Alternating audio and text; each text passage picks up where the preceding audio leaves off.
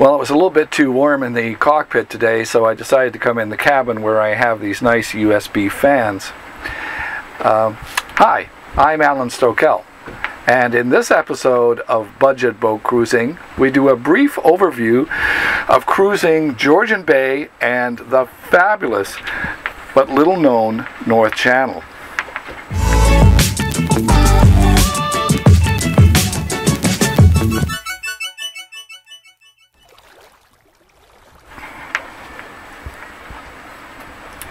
Well, still a bit hot in here with my hat on, so I'll take it off. The North Channel is that uh, bit of Canadian waters between Lake Superior and Lake Huron that is north of Manitoulin Island. It is world renowned as a great cruising destination, and thanks to the Great Lakes and the Trent Severn Canal System, it is accessible from almost anywhere in the world. A word of warning here, though it's pretty much impossible to cruise the North Channel or the northern part of Georgian Bay without anchoring. I'm hoping to have my first video on anchoring out real soon, so when it, I post it, I'll link it somewhere here.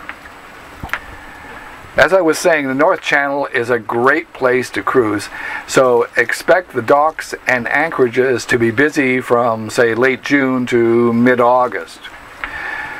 This is not an area to attend if you've never cruised before. A well equipped vessel will add to the comfort and safety of the crew. If you want to go ashore at one of the anchorages, you will need a dinghy or something similar. We started our cruise from Spanish Ontario. ¿Por qué lo llaman español? Beats me. The town has. Uh, a once a day Greyhound bus service along the Trans Canada Highway to Toronto or Vancouver, but Vancouver is a very long way. Um, and there are also several greasy spoons and a couple of hotels.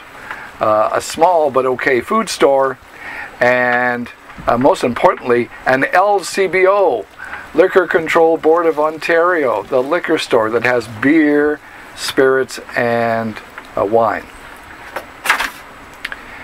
It's a two kilometer walk to town from the marina. There are no taxis. Marina has fuel, pump out, showers, washrooms, and a sauna. I think it's a nod to the large number of Finnish immigrants. Uh, Jusemat netas uh, over uh, Susamari. From Spanish, we passed through Little Detroit you have to hail a pan pan on channel 16 because the passage is narrow and quite long. We anchored for the night at Eagle Island. The bay at Eagle Island is almost deserted. Our next stop was the Benjamin Islands, and we came through the narrow channel from the back just to scare everyone. There's rocks on both sides, folks. The Benjamins, as usual, was packed with boaters both seasoned and green. Some spent their days burning fuel. Some just went round and around in their sea-doo thingies. Others puttering on their dinghies to water the dogs. And others just left their engines running to keep the air conditioning and freezer working. So we just stayed the night. The next day saw us at Louisa. It's a nice, safe anchorage protected from just about anything except perhaps a nasty easterly. The weather started to change, so the next night we snugged into Bedford Harbor. The next day it was off to get supplies at Little Current, the unofficial capital of the North Channel. If you go there, don't forget to give the cook a break and head to the Anchor Inn. The LCBO and food store are up the hill.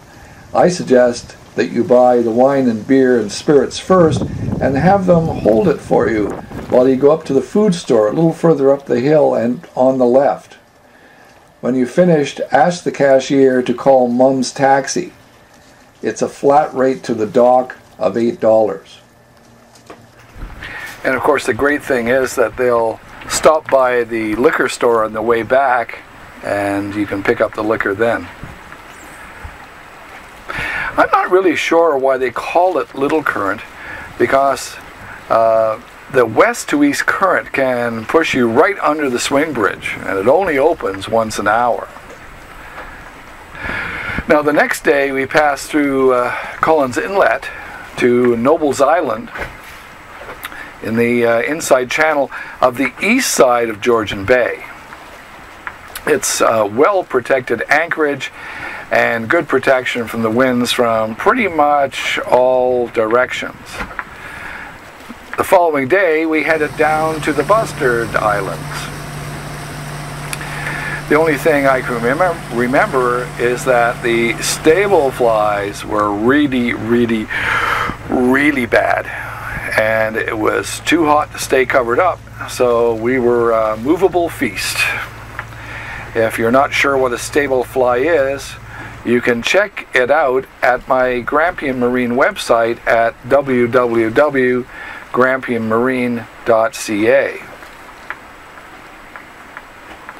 Now, Monday we crossed to Point Barrow, where there was the horrible abuse of flags. It started there and it carried on along the whole inland route. Right on the lighthouse, which is federal government property, two flags on a single pole.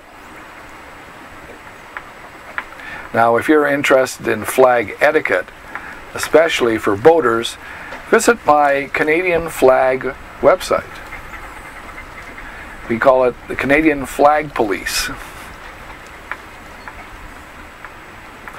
Next, we headed down to Shawanaga Inlet and a nice but tight anchorage with hidden rocks at the south side of the inlet. As we got further south, we often had to share the spaces with cottagers.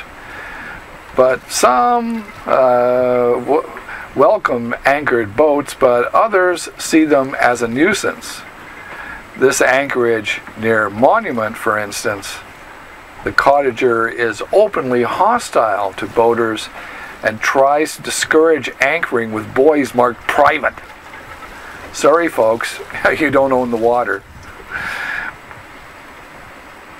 Anyway, next day it was off to Penetanguishene and the end of our trip. I hope you enjoyed this brief overview and uh, that it'll encourage you to give cruising a try.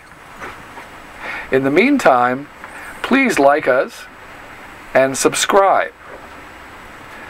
If you're up for more, try one of our other videos. For instance, a little easier cruise is cruising around Lake Ontario. Or if you don't have a boat and you'd like to get one, how about how to buy a boat? Or how about you really don't have any money, how to get a boat for free.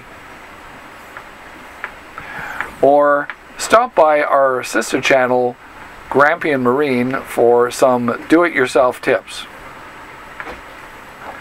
I'm Alan Stokel, and thank you very much for watching.